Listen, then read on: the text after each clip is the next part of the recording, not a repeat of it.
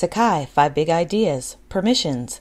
This is the third in our series. Permissions is an important concept. It has to do with the roles in your site and the actions that those roles are allowed to perform. So, for example, a student role, TA role, instructor role. The more things that the student role can do in a course site, the greater the ownership they may take in creating content and generating knowledge. Big idea number three is that you can change permissions. We're going to look at a course site, and the reason is that course sites have more restrictive permissions than project sites. This is because project sites are for collaboration, and generally we want our participants to help us generate materials and content. So let's look at a typical course site. We're going to click on calendar we see there are a number of options displayed underneath the calendar title. Wherever you see permissions, you'll see a grid in course sites that looks similar to this. Let's not be overwhelmed by what we're looking at. There are a number of roles in a course site, but for the purposes of this tutorial, let's look at just the instructor and the student roles. You can see that there's a fine level of detail here. Instructors can do pretty much everything, and students can really only view. However, you have the potential as the instructor role in a site to change that and allow students to create events or edit their own events. So if we click on announcements, we will also see permissions. In resources, there's the permissions option. So wherever you see permissions listed as an option, you have the ability to make some fine grained changes in how that tool functions in your site. Check out the faculty testimonials on our blog to learn more about how permissions can benefit you. In summary, permissions can be manipulated at a very fine grained level